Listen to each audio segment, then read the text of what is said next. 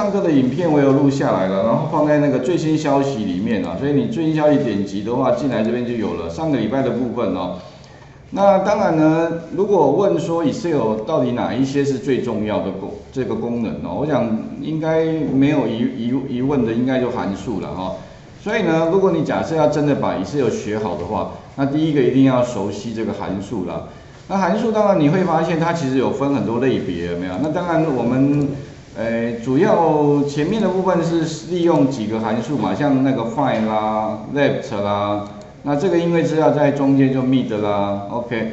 那所以如果假设你将来哈需想要把函数彻底了解的话，那当然你可以从这个插入函数这边进来，那这边就有一堆了啊。它其实分类分的蛮细的。那我们目前有用到的其实就只有一个类别，就是文字类的函数。当然还有其他类别的函数啊。如果各位有时间的话，你可以找相关的书籍，自己再慢慢去，呃，去去去去。去踹了啊，因为这其实我说你要把函数学好，还是需要花一点时间。那当然呢，如果你假设没有太多的时间，而且你也没有方向的话，我觉得哈，或许你可以像，呃，坊间有一些证照可以考啊，我建议你可以试试看啊。像证证照考试，主要就是他把一些问题给你，你要把这个问题的答案解出来。那用的比如说就是要用函数了哦。那当然，他会举一些比较重要的函数啊，要你去做了哈。而且我我在楼梯间好像有看电梯那边有公公告，就是如果你考证照，学校是会给你费用的，呃，会补助你的。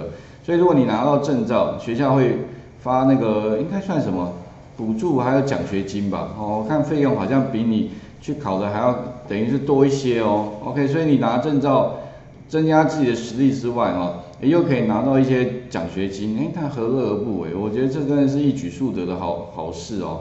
OK 哦，你们不知道有没有注意到楼梯间那边有一个公告？OK 哈，你们可以再看一下。那当然我们用的是文字类函数啊。那如果假如哈你不是你如果不想要透过一般书籍哈去学习的话，其实还有一个方法，其实底下它都有一些说明。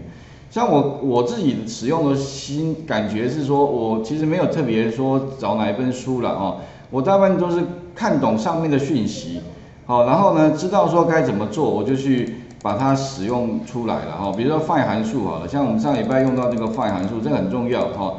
find 的话呢，实际上就是你如果要找的，比如说一些资料的特征。像比如说我要找什么，找那个细琐好了，细琐是刮胡前刮胡的前面这些字的话，那其实哈，我个人习惯是用 find，find 什么？find 前刮胡的位置。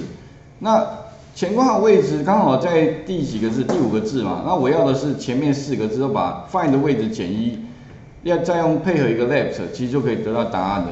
那 mid 的话呢，哈，诶。这个这个地方哪一班的话有没有？那刚好位置是后刮弧，所以后刮弧啊这边有个空白，后刮弧的空白的哎对，后刮弧的下一个字的下一个字等于下两个字，所以你把它加二就可以了。好，那就知道说你要取的字在按照用 mid 哈，取那个字的位置，然后取几个字，取一个字，这样就可以把你要的讯息给取出来。那这个其实还蛮重要的，因为如果你假设没有这个能力的话，哇，那麻烦了。为什么？因为如果你不会用 find 哦，以前要怎么做？以前可能就是用眼睛看，有没有？你把它选点两下，选起来，复制贴过来，有没有？然后这边点两下，选起来，复制贴过来，那不得了了，那他做多久啊？OK，而且如果全校这么多人哈，可能可能上万人的话，哇，那这永远做不完。所以势必啊，如果假设你用 Excel 的话，一定要会用这个。哎，这个像 find 啊，像 left 哈，所以哦，我们第一次上课好像就是讲到这个吧哈，然后看嘛，第第一次、第二次哈，所以呢，就是把这个公式把它做出来，好，然后另外有做了一个年级嘛，还有这个学硕士，就是刮胡里面的资料我要把它取过来的话，啊，所以有三个。